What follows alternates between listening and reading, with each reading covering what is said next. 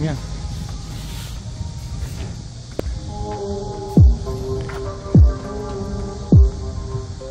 작품이 이렇게 마을 입구에서부터 계속 있습니다.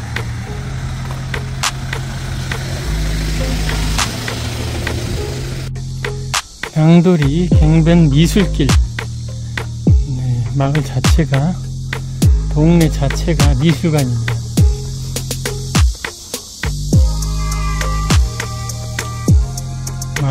자체 작품이 걸려있는 미술관.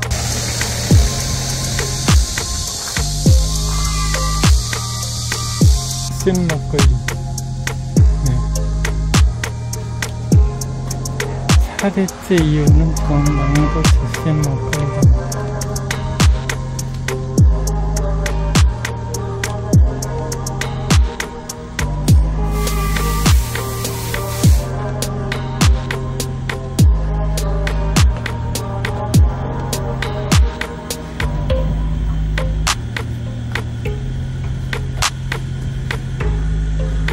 다 사대째 이온 100년 전통가옥